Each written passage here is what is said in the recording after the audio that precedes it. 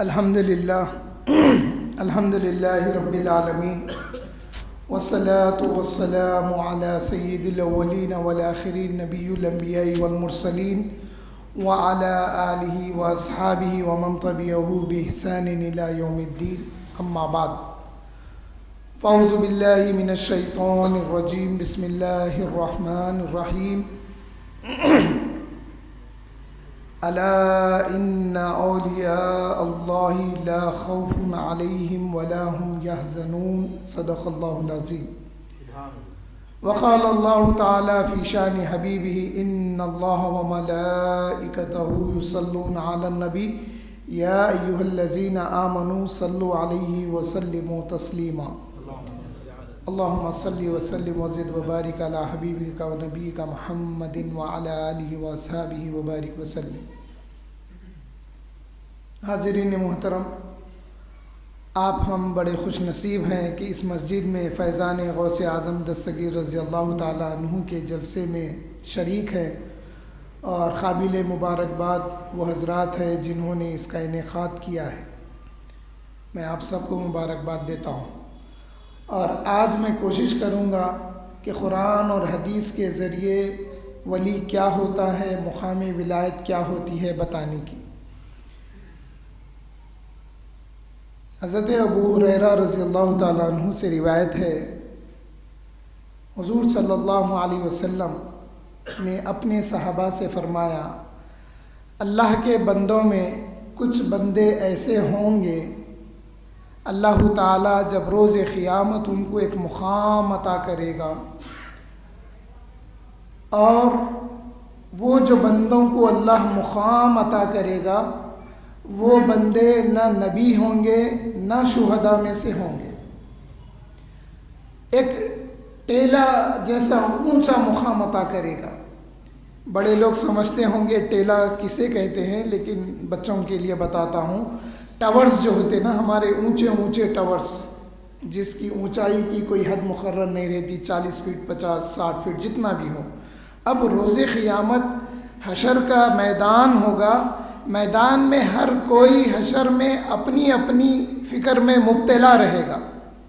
ایسے سچویشن میں جب اللہ جل شاہ اپنے بندوں میں سے کچھ بندوں کو وہ مقام جب عطا کریں گے، جو نور ہوگا، جو نورانی مقام ہوگا، جو نور سے بھرا ہوگا، تو اب اس مقام کو جو بندے مقام حاصل کیے ہیں ان بندوں پر اور اس مقام پر اللہ کے نبی اور اللہ کے راہ میں شہید ہونے والے شہداء فخر کریں گے، ناز کریں گے، رش کریں گے کہ اللہ تو نے کچھ بندے یعنی ابھی وہ مقام ولایت کا ذکر نہیں، نبوت کا ذکر نہیں، رسالت کا ذکر کچھ بھی نہیں ہے۔ حدیث میں آتا ہے کہ اللہ کے بندوں میں سے کچھ بندوں کو اللہ تعالیٰ یہ مقام عطا کرے گا۔ تو اس مقام کو دیکھ کر انبیاء اور شہداء رش کریں گے، ناز کریں گے، فخر کریں گے، خوش ہوں گے، اظہار خوشی کریں گے۔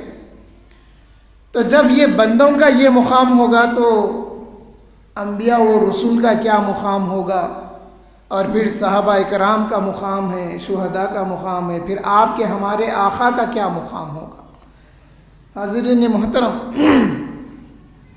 جب حضور صلی اللہ علیہ وسلم نے یہ اپنے صحابہ سے فرمایا، صحابہ پوچھنے لگے، یا رسول اللہ صلی اللہ علیہ وسلم، اللہ تعالیٰ جن بندوں کو یہ مقام عطا کرے گا، ان کی صفت کیا ہوگی؟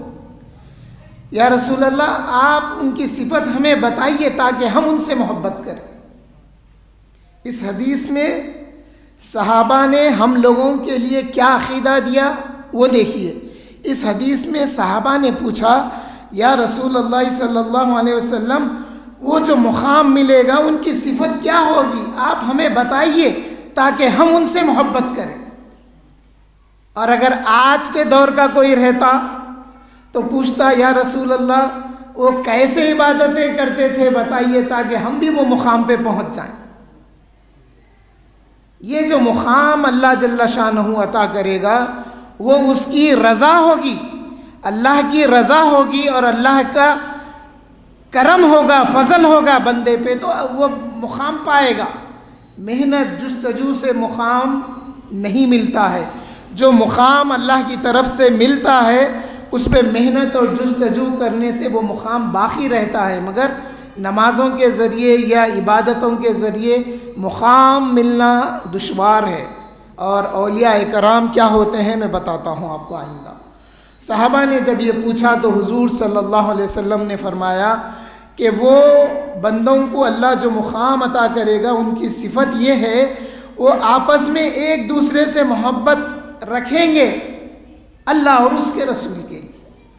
ان کی محبت صرف اللہ کے لیے ہوگی آپس میں۔ اور آگے حضور نے فرمایا کہ ان کی آپس میں کوئی رشتہ داری نہیں ہوگی اور کوئی مال کا لینا دینا نہیں ہوگا۔ وہ صرف محبت رکھیں گے تو اللہ اس کے رسول کے لیے محبت رکھیں گے۔ پھر حضور نے فرمایا، ان کے چہرے نور سے روشن ہوں گے، نور سے چمکتے ہوں گے۔ اور پھر حضور نے فرمایا، جس دن سارے لوگ غم زدہ ہوں گے، پریشان حال ہوں گے۔ یہ اللہ کے بندے اس دن ان کے لیے نہ خوف ہوگا، نہ پریشانی ہوگی، نہ حزن و ملال ہوگا۔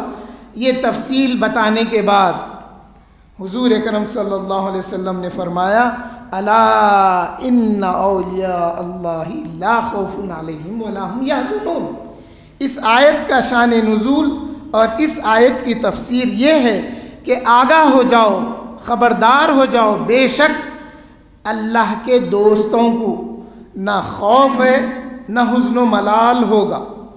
تو حاضرین محترم، اب جو بات سمجھنے کی ہے وہ یہ ہے، خوف نہیں ہوگا اور حزن و ملال نہیں ہوگا، کیا وہ اللہ سے بے خوف رہیں گے؟ نہیں۔ اللہ سے خوف تو علماء ہی زیادہ کرتے ہیں اور ہر ولی عالم ہوتا ہے، ہر ولی علم رکھنے والا ہوتا ہے، اس کو اللہ تعالیٰ پہلے علم عطا کرتا ہے، اس کے بعد میں اس کو ولایت ملتی ہے۔ جس طرح سے سمجھنے کے لیے میں بتاؤں آپ کو، آدم علیہ السلام کو اللہ تعالیٰ خلیفہ بنانے سے پہلے فرشتوں میں ذکر کیا کہ میں زمین پر اپنا فرشتہ اپنا خلیفہ مقرر کرنا چاہتا ہوں۔ تو وہاں فرشتے اعتراض کیے، یا اللہ جل شاہ ہم آپ کی تسبیح، آپ کی تقدیس کرتے ہیں، کیا ہم کافی نہیں ہیں؟ اے اللہ، جس کا آپ ذکر فرما رہے ہیں، وہ زمین پر جب جائے گا تو وہ فساد برپا کرے گا۔ اللہ فرمائے اے فرشتو، خاموش ہو جاؤ۔ جو بات میں جانتا ہوں، وہ تم نہیں جانتے۔ اس کے بعد میں اللہ تعالیٰ نے آدم علیہ السلام کو اپنے اسما کا علم عطا کیا۔ اس کے بعد میں پھر فرشتوں سے کہا کہ اب بولو، کیا علم رکھتے ہیں؟ وہ کہے کہ سبحانک لا علم لنا الا ما علمتنا۔ تو اس بات سے معلوم ہوتا ہے کہ اللہ تعالیٰ ہر ولی کو علم عطا کرتا ہے، اس کے بعد میں اس کو منصب ولایت ملتی ہے۔ حاضرین محترم، ولی میں اور نبی میں کیا فرق ہے؟ دیکھیے، انبیاء علیہم السلام اور اللہ کے رسول اللہ کی طرف سے مخلوق میں آتے ہیں۔ اللہ کی طرف سے مخلوق میں آتے ہیں اور ان پر امر بالمعروف و نہیں ان المنکر فرض ہوتا ہے۔ اس لیے موسیٰ علیہ السلام جب خضر علیہ السلام کے ساتھ آپ کا سفر طے ہوا تو موسیٰ علیہ السلام سے رہ نہیں گیا۔ کیونکہ آپ پر یہ بات لاگو تھی کہ آپ روکتے رہیں۔ تو نبی اور انبیاء پر حکم ہے کہ وہ امر بالمعروف کا حکم دیتے رہیں۔ لیکن ولی کیا ہے؟ ولی مخلوق میں رہتے ہوئے اللہ کی طرف جاتا ہے۔ اس لیے کبھی ہم دیکھتے ہیں وہ خاموش ہو جاتا ہے۔ لوگ سمجھتے دیوانہ ہے، پاگل ہے، نکل جاتے۔ جب وہ نگاہیں اٹھا کے دیکھتا ہے تو کرامت ظاہر ہوتی ہے۔ تو یہ اولیاء کرام کے مراتب ہوتے ہیں۔ تو حاضرین محترم، یہ بات ہمارے سمجھنے کے لیے آسان ہے کہ اللہ کے نبی مخلوق میں آتے ہیں۔ اور اولیاء اکرام مخلوق سے اللہ کی طرف چلے جاتے ہیں۔ اس لیے آپ اکثر اولیاء اکرام کی زندگی دیکھیے کہ وہ جنگلوں میں رہنا پسند کیے، پہاڑوں میں رہنا پسند کیے، مخلوق سے کٹ گئے وہ لوگ۔ مخلوق سے کٹ کے اللہ کی عبادت میں مصروف ہو گئے۔ اب ایک بات یہ بھی سمجھنے کی ہے کہ انبیاء علیہ السلام کا سلسلہ جاری رہا۔ اب حضور صلی اللہ علیہ وسلم کے بعد کوئی اور نبی آنے والے نہیں ہیں۔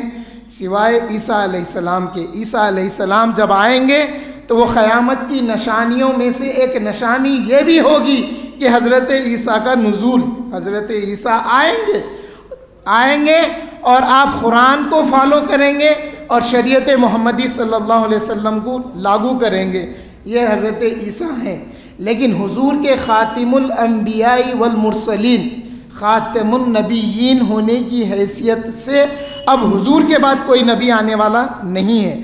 اگر کوئی جھوٹی نبوت کا دعویٰ کرتا ہے تو ہم پر فرض ہے کہ ہم اس کو لڑیں، اس کو ماریں، اس کو قتل کریں، اس کو ختم کریں۔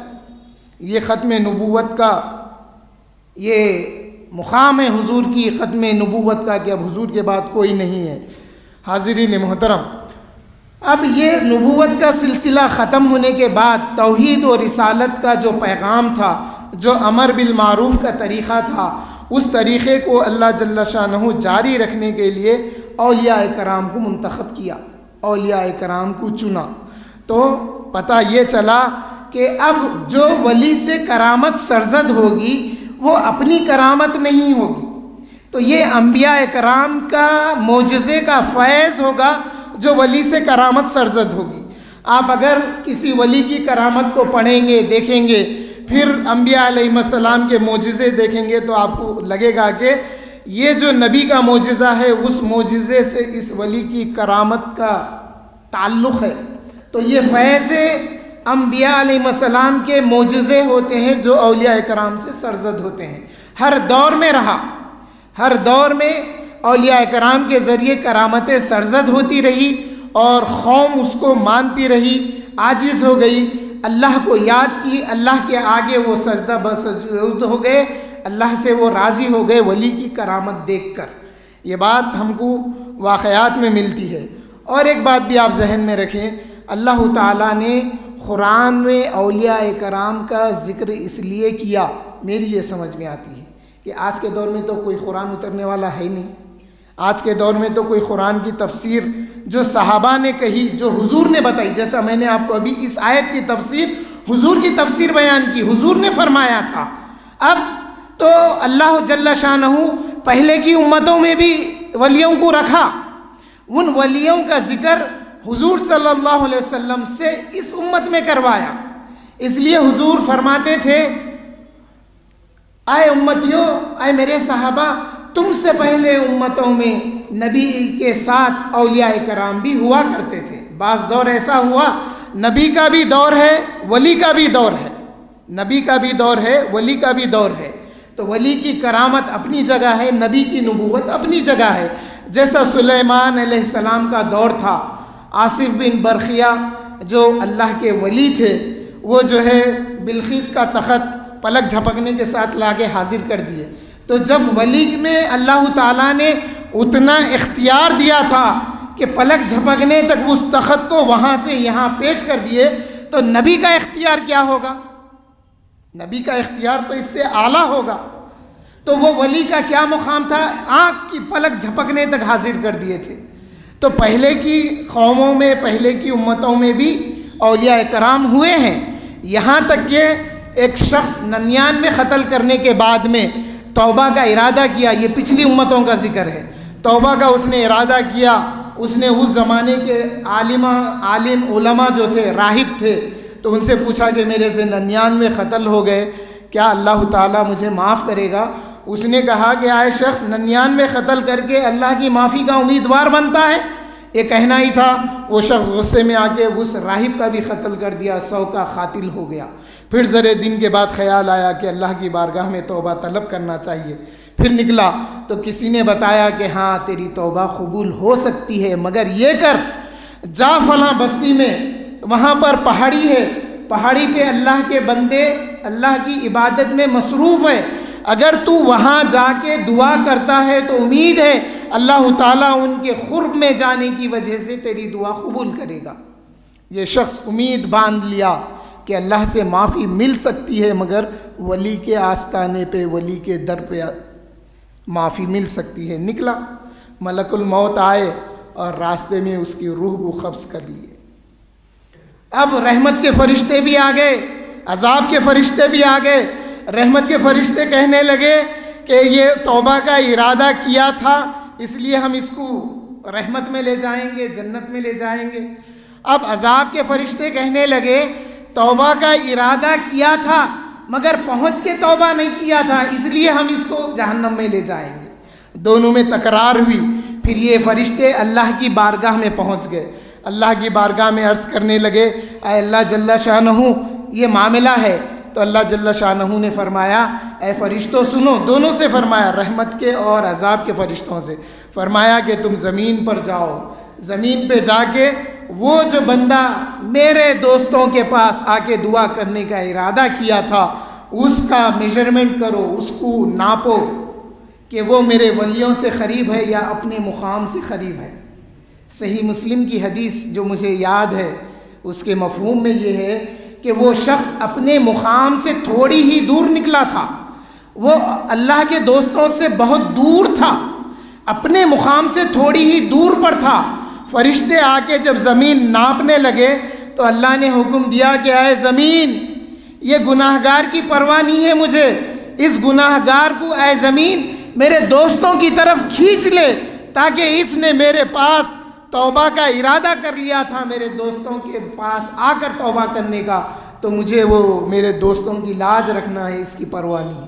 تو جب ماپا گیا تو اس کی ناش کو اللہ کے ان ولیوں کے خرید میں پایا گیا، پھر وہ رحمت کے ٹھکانے تک پہنچ گیا۔ اس کی روایت حضور صلی اللہ علیہ وسلم نے صحیح مسلم میں کی ہے۔ تو حضور صلی اللہ علیہ وسلم نے پہلے کے اولیاء کرام کا بھی ذکر کیا ہے۔ تو آج جب قرآن شریف مکمل ہو گئی، شریعت پوری ہو گئی، تو اب پہلے کے ولیوں کا ذکر اللہ جل شاہ نے حضور سے کروایا۔ اب حضور کی امت کے اولیاء کرام کا ذکر اللہ تعالیٰ نے خود کیا، خود کر کے فرمایا کہ اللہ اولیاء اللہ لا خوف علیہم ولا هم یحزنون۔ حاضرین محترم، ولایت اور ولایت دو بھی صحیح ہیں۔ آپ اگر ڈکشنری دیکھیں گے، ولایت اگر واؤ کو زیر سے پڑھ رہے ہیں تو اس کے دو معنی آتے ہیں۔ اور واؤ کو اگر زبر سے پڑھیں گے تو اس کا ایک معنی آتا ہے۔ اور ولی ہے کیا؟ ولی کیا ہے؟ ولایت کیا ہے؟ جس کو ولایت ملتی ہے، وہ ولایت ہے کیا؟ تو وہ ولایت یہ ہے کہ اللہ جل شاہ کے پاس اسرار ہے، چھپی ہوئی چیزیں ہیں، جن پہ اللہ جل شاہ پردہ ڈھانکے ہوئے ہیں۔ وہ حریت کو پردہ اٹھا کے نہیں بتاتے۔ اسرار ہے نا؟ رموز و اسرار۔ اللہ کے پاس غیب ہے، چھپا ہوا ہے۔ اللہ تعالیٰ کسی کو بتاتے نہیں ہیں۔ مگر اللہ جل شاہ نے حضور اکرم صلی اللہ علیہ وسلم کو وَعَلَّمَكَ مَا لَمْ تَكُنْ تَعْلَمْ فرما کے ساری باتیں بتا دیا ہے اللہ جل شاہ قرآن کی آیت ہے، وَعَلَّمَكَ مَا لَمْ تَكُنْ تَعْلَمْ۔ اے پیارے، آپ کو جو کچھ بتانا تھا ہم نے آپ کو بتا دیا ہے۔ اب حضور صلی اللہ علیہ وسلم پر کوئی چیز چھپی ہوئی نہیں ہے۔ یہاں تک کہ خود خدا بھی نہیں چھپا حضور سے۔ جب معراج میں بلا لیا تو حضور صلی اللہ علیہ وسلم نے فرمایا، میں نے اللہ جل شاہ کا دیدار اپنے ماتھے کی آنکھوں سے کیا ہے اور میری آنکھوں نے یہ مانا کہ یہ اللہ کا دیدار تو خود خدا نہیں چھپا۔ تو اب یہ ولایت کیا ہے؟ جو عطا ہوتی ہے، تو وہ ولایت یہ ہے کہ اللہ کے پاس جو چھپے ہوئی باتیں ہیں، جو چھپے ہوئے پردے ہیں، جن پر اللہ تعالیٰ نے چھپی ہوئی باتوں پہ پردہ ڈھاک کے رکھا ہے۔ ان میں سے ایک پردہ جب اٹھا کے کسی ولی کو عطا کر دیتا ہے، تو وہ ولی کا مقام یہ ہو جاتا ہے۔ اللہ جل شاہ حدیث خدسی میں فرماتے ہیں، بخاری کی حدیث ہے کہ حضور صلی اللہ علیہ وسلم نے فرمایا، اللہ جل شاہ فرماتا ہے۔ اللہ جل شاہ کیا فرماتا ہے؟ اپنے حبیب سے فرماتا ہے، اے میرے پیارے، مفہوم بتا رہا ہوں۔ اے میرے پیارے اپنے امتیوں کو بتا دے۔ تو حضور نے پوچھا، کیا بتاؤں اے اللہ؟ تو اللہ نے فرمایا حدیث خدسی میں، من آد علی ولی فخد آزم تو بالحرب اے پیارے، امت کو بتا دے کہ جو کوئی میرے دوست سے دشمنی کرتا ہے، گویا وہ مجھ سے اعلان جنگ کرتا ہے۔ اب ولی سے دشمنی کیا ہے؟ عام بات بتا رہا ہوں میں۔ ولی سے دشمنی یہ ہے یہ ولیوں کا ذکر کئی کو؟ یہ ولیوں کا ذکر کئی کو؟ یہ ولیوں کا جلسہ کئی کو؟ وہ کئی کو؟ یہ کئی کو جو سوالہ ہوتے نا، یہ سوالہ ان کی شان میں بے ادبی ہوتی ہے اولیاء کرام کی۔ اور اولیاء اکرام کی شان میں جب بے دبی ہوتی ہے تو وہ اللہ تعالیٰ سے اعلان جنگ کے مماثل ہے۔ اللہ نے کہیں بھی نہیں فرمایا کہ ایسا ہوا تو میرے سے اعلان جنگ۔ اپنے دوستوں کے تعلق سے فرمایا، اللہ کے دوست، اللہ کے ولی بھی ہیں، اللہ کے دوست نبی بھی ہیں، اللہ کے دوست انبیاء بھی ہیں، اور اللہ کا، اللہ کے دوست آپ کے میرے آقا حضور صلی اللہ علیہ وسلم بھی ہے جیسے آپ نے حضرت ابراہیم کے ساتھ خلیل اللہ کہتے نا، اللہ کے دوست حضرت ابراہیم ہیں، اور حضور صلی اللہ علیہ وسلم نے ایک موقع پہ فرمایا کہ میں اللہ کا دوست ہوں۔ تو یہ اللہ سے دوستی اولیاء اکرام سے شروع ہوتی ہے۔ اگر ہم اولیاء اکرام کی حیات مبارکہ کو سمجھیں اور آپ کی کرامتوں کو ہم مانیں گے تو نبوت کا فیض ملے گا۔ انبیاء علیہ السلام کی کرامت، معجزوں کو مانیں گے۔ پھر حضور صلی اللہ علیہ وسلم کا فیض ملے گا تو حضور کی ہر معجزے کو مانیں گے۔ حضور کے ہر معجزے کو مانیں گے، دل تسلیم کرے گا۔ تو حاضرین محترم یہ جو چھپے ہوئے پردوں میں سے ایک پردہ اٹھا کے جب اللہ نے عطا کر دیا، تو اب چھپی ہوئی بات اللہ نے بتایا۔ کیا بتایا؟ جو اعلان جو میرے ولی کی دشمنی کرے گا، مخالفت کرے گا، میرے ولی سے جو پنگا لے گا، زبانی طور پہ، ہاتھ سے کیا پنگا لیں گے؟ جب وہ نگاہیں اٹھاتے تو کیا ہوتا؟ میں بتاؤں گا آپ کو۔ ہاتھ سے ولی کے پنگا نہیں لے، آج تک۔ کوئی بھی پنگا نہیں لیا ولی سے، ہاتھ کے ذریعے۔ زبان سے گستاخیاں کرے پکڑ میں آ گئے دل میں برائی لائے پکڑ میں آ گئے پھر آجزی سے حاضر ہو گئے، معافی چاہے، استغفار کرے، یہ الگ چیز ہے۔ میں بتا رہا تھا۔ اللہ جل شاہ نے جب ایک پردہ اٹھا کے عطا کر دیا، تو پھر پردے میں ہی بات کو بھی بتا دیا کہ جب کوئی بندہ میرے دوست سے دشمنی کرتا ہے تو میں اعلان جنگ کرتا ہوں۔ یہ فرمانے کے بعد فرمایا، جب کوئی بندہ میرا خرب چاہتا ہے۔ تو وہ فرائض کی پابندی کرتے ہوئے جب نوافل پڑھنے لگتا ہے۔ فرائض کی پابندی کرتے ہوئے جب نوافل پڑھنے لگتا ہے، تو وہ بندہ میرا محبوب ہو جاتا ہے۔ اور جب بندہ میرا محبوب ہو جاتا ہے، جب بندہ میرا چہیتا ہو جاتا ہے، تو اب اس میں صفتیں کیا پیدا ہوتی ہے حدیث خدسی میں حضور فرما رہے ہیں، اللہ جل شاہ فرما رہا ہے۔ اللہ تعالیٰ فرما رہے ہیں، جب کوئی بندہ میرا چہیتا ہو جاتا ہے، تو جب وہ دیکھتا ہے، تو دیکھنا اس کا نہیں رہتا۔ بندہ چہیتا ہونے سے پہلے دیکھتا تھا، تو اس کو وہ دیوار نظر آتی تھی۔ اب بندہ جب چہیتا ہو گیا، تو دیکھنا تو اس کا ہے، لیکن بسارت میری ہوتی ہے۔ خدا کی بسارت سے بندہ دیکھتا ہے۔ تو بیٹھا یہاں ہوتا ہے دکھائی اس کو وہاں کا دیتا ہے۔ حاضرین محترم، پھر اللہ جل شاہ نے حضور سے فرمایا، اے پیارے، اپنی امت کو بتا دو۔ بندہ جب سنتا ہے تو سننا اس کا نہیں رہتا۔ بندہ جب اللہ کا محبوب ہو جاتا ہے، چہیتا ہو جاتا ہے، تو سننا اس کا اب نہیں رہتا ہے۔ جب وہ سنتا ہے تو اللہ جل شاہ کی سماعت سے سنتا ہے، قوت سماعت اب اللہ جل شاہ کی ہو جاتی ہے۔ حاضرین محترم، ولایت کو سمجھنے کے لیے نبوت کے معجزوں کو سمجھنا ضروری رہتا۔ میں آپ کو اس سماعت کی مثال حضور کے معجزے سے دیتا ہوں۔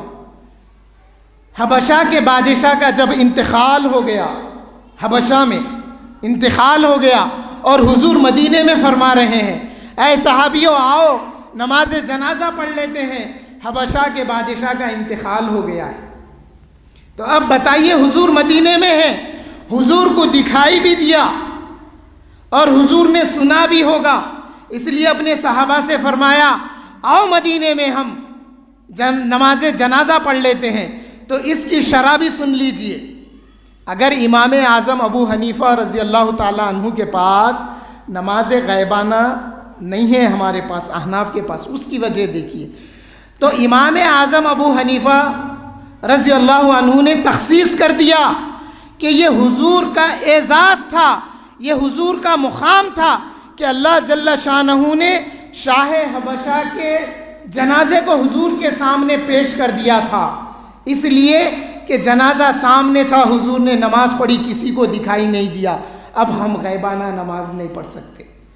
امام مالک، امام شافعی نے ظاہر کو دیکھا۔ انہوں نے کہا کہ حضور نے فرمایا، آؤ نماز جنازہ پڑھیں اور انتقال وہاں ہوا تھا۔ تو پھر ان کے پاس نماز غائبانہ جائز ہے۔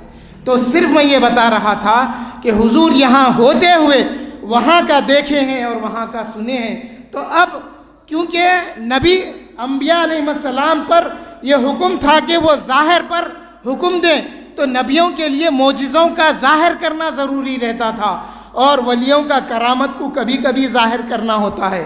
ولیوں پر کرامت کو ظاہر کرنا فرض نہیں ہوتا ہے۔ اس کی وجہ یہ ہے بعض ولی اللہ کے چھپے ہوئے ہوتے ہیں۔ جب وہ ظاہر ہو جاتے تو ان کا انتقال بھی ہو جاتا ہے۔ جب وہ ظاہر ہو جاتے ہیں تو ان کا انتقال بھی ہو جاتا ہے۔ تو میں بتا رہا تھا، حدیث خدسی میں ہے کہ بندہ جب دیکھتا ہے تو وہ اللہ کی بصارت سے دیکھتا ہے۔ قوت بصارت اب اللہ کی ہو جاتی ہے۔ اور جب سنتا ہے تو اس کو سماعت اللہ کی طرف سے جو عطا ہوتی ہے تو اس سماعت سے سنتا ہے۔ اور جب بولتا ہے تو اللہ جل شاہ فرما رہے، اے پیارے، اپنی امت سے بتا دو، جب وہ بندہ چہیتا میرا، جب بولتا ہے تو بولنا اس کا نہیں ہوتا۔ اس کا بولنا اب جب بولتا ہے تو میری قوت گویائی اس کے ساتھ ہو جاتی ہے۔ اور جب یہ میرا چہیتا بندہ، جب میرا دوست، جب میرا ولی کسی شے پہ ہاتھ رکھتا ہے تو وہ ہاتھ اس کا دکھائی دیتا ہے، مگر اس پر دست قدرت میری ہوتی ہے۔ اس لیے کہ اولیاء اکرام سے کئی چیزیں سرزد ہوئی ہیں۔ ولایت کے معاملے کو اللہ جل شانہ چھپا کے بیان کیا تاکہ ہماری اخلوں میں آ جائے اور فرق معلوم ہو جائے کہ ولی کا چاہنے والا کون ہے اور ولی کی مخالفت کرنے والا کون ہے۔ نبوت کے معاملے کو ظاہر کر دیا۔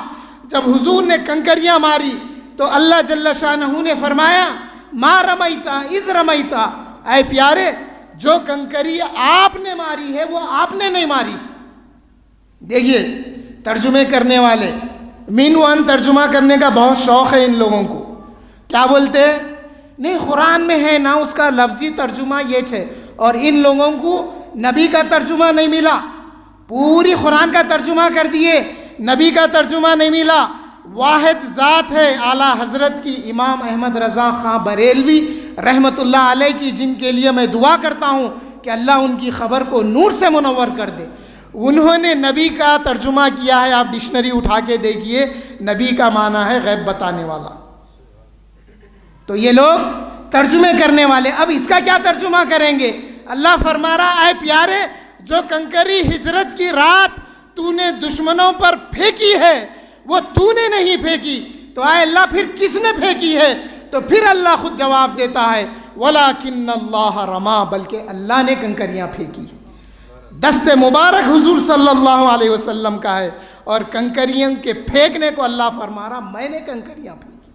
تو حاضرین محترم، یہ باتوں کو اللہ تعالیٰ ظاہر کر کے امت کو بتا دیا۔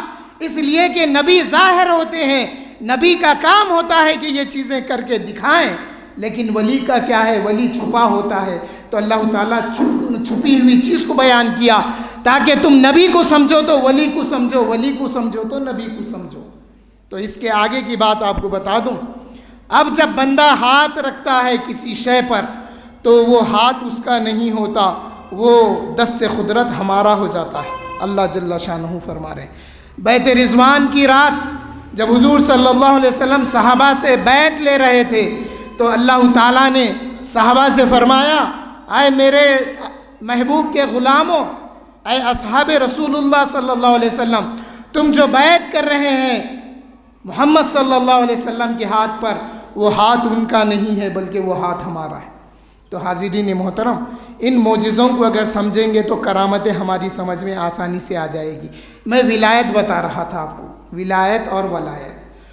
ولایت کا ایک معنی آپ اگر ڈکشنری میں دیکھیں گے یا پھر کشف المحجوب میں دیکھیں گے، جو داتا حجویری علیہ رحمہ کی کتاب ہے، داتا گنج بخش حجویری پاکستان کے جو بزرگ ہیں پیرانی پیر سے پہلے کے ہیں۔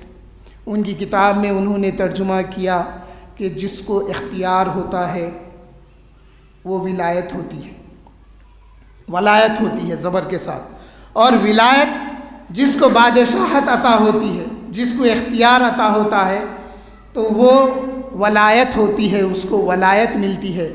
تو اللہ تعالیٰ اللہ کے نبیوں کو بھی با اختیار اختیار دے دیا اور اللہ کے ولیوں کو بھی اختیار دے دیا۔ آخری بات کر کے میں آپ کو اپنی بات پوری کر لیتا ہوں۔ آپ، میں اگر کسی ہونڈا کمپنی کی گاڑی خریدتے ہیں، تو گاڑی خریدنے کے ٹائم رجسٹریشن ہوتا ہے، کمپنی کا ڈاکومنٹ ہوتا ہے، نام ہمارا ہوتا ہے۔ اس کے بعد گاڑی کمپنی کی ہوتی، ہر دیکھنے والا بولتا، یہ گاڑی ہونڈا کمپنی کی ہے، ہونڈا کمپنی کی ہے۔ مگر اس کے مالک کون ہوتے ہیں؟ ہم ہوتے ہیں، کیونکہ رجسٹریشن ہمارا ہے۔ اور ہم مختار بھی ہوتے ہیں، چاہے وہ گاڑی کو رکھے یا بیچے۔ اب پھر جا کے وہاں پوچھنا نہیں پڑتا، ہونڈا کمپنی میں میں گاڑی بیچوں کیا؟ نہیں پوچھنا پڑتا۔ اللہ تعالیٰ ولایت دینے کے بعد اس کو مختار کر دیتا ہے۔ اب جو کام وہ کرتے ہیں، اللہ کے حکم کے پابند ہوتے ہیں اور حضور صلی اللہ علیہ وسلم کی شریعت کے پابند ہوتے ہیں۔ لیکن بار بار ان کو، بار بار ان کو سمجھ رہے نا، ضرورت نہیں رہتی۔ اس لیے کہ اب ان کو رجسٹریشن ہو گیا ان کا ولایت کے ذریعے۔ تو اب جب چاہتے ہیں، ان کو انسٹینٹلی کرامت دکھانا پڑتا۔ نہیں تو ٹھہر تو بعد میں آ۔ میں کرامت کے لیے اللہ سے اجازت لیتا ہوں، اللہ تعالیٰ دیا وقت میں بتاتا ہوں، نہیں۔ آج کی امت جب کمپیوٹرائز زمانے سے گزر رہی ہے تو وہ کلک کرتے ہی آنسر چاہتی۔ تو اللہ تعالیٰ ولیوں کو بھی وہی کر دیا۔ ولی کہنے آ کے کلک کرتے ہی آنسر آتا۔ تو یہ اختیار ہے اولیاء کرام کا۔ اور اولیاء کرام با اختیار ہوتے ہیں۔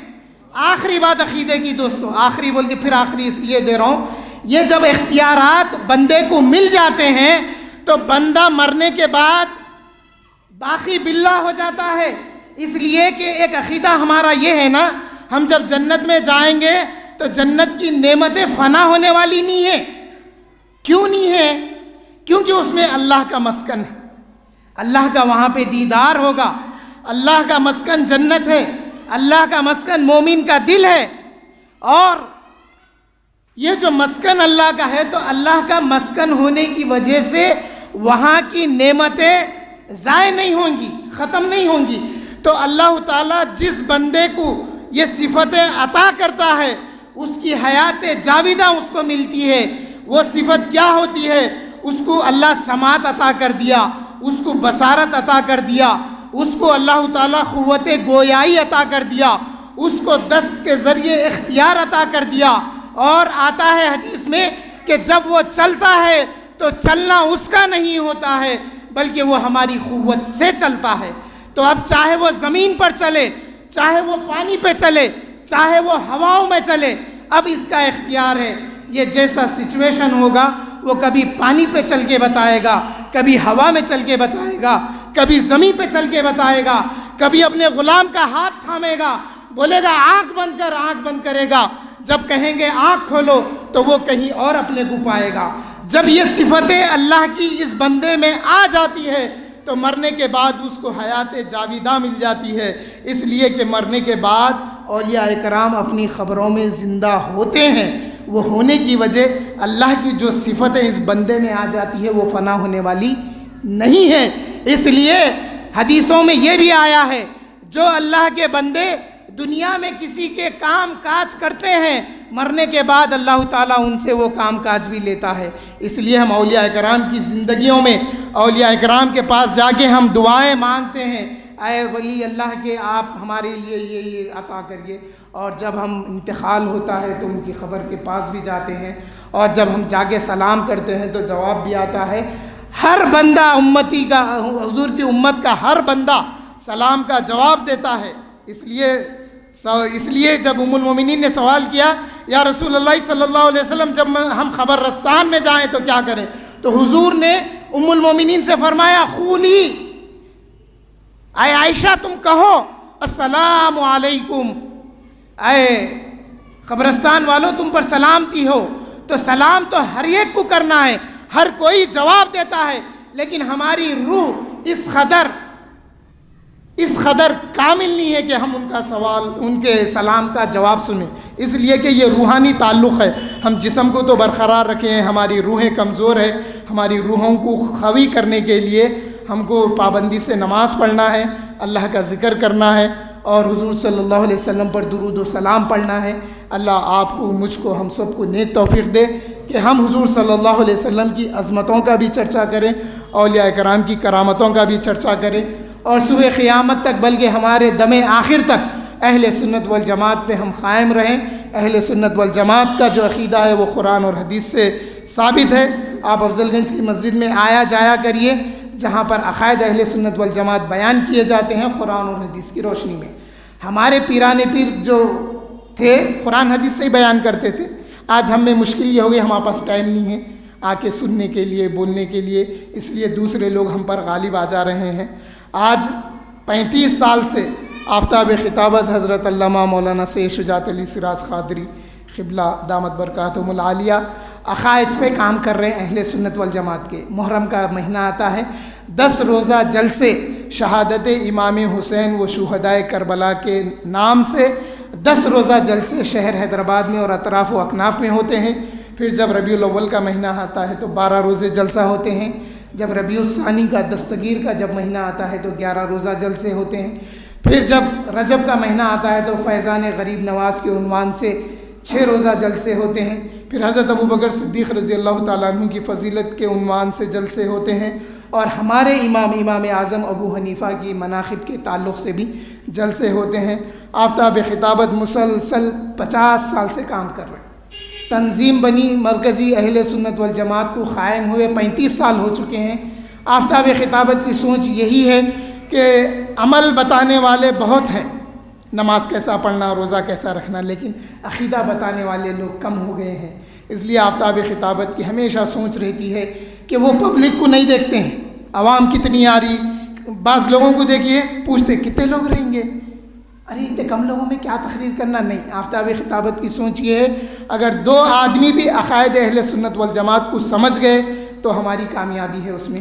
میں اللہ سے دعا کرتا ہوں کہ ہم تمام حاضرین جو ہیں، اے اللہ، مجھ کو اور تمام حاضرین کو، حضور صلی اللہ علیہ وسلم کے صدقے طفیل میں وہ سب کچھ عطا کر، جس کی ہم کو ضرورت ہے اور آفتاب خطابت کو صحت دے۔ اور ہمارے مفسر قرآن کو صحت دے ہمارے ساتھ جو کام کر رہے ہیں۔ بلا معاوضہ کام ہوتا ہے ہمارے پاس۔ اللہ اس کو قبول کرے اور ہم سب کو توفیق دے کہ ہم بھی دین کا کام بلا معاوضہ، خوش دلی کے ساتھ کریں۔ والحمد للہ رب العالمین۔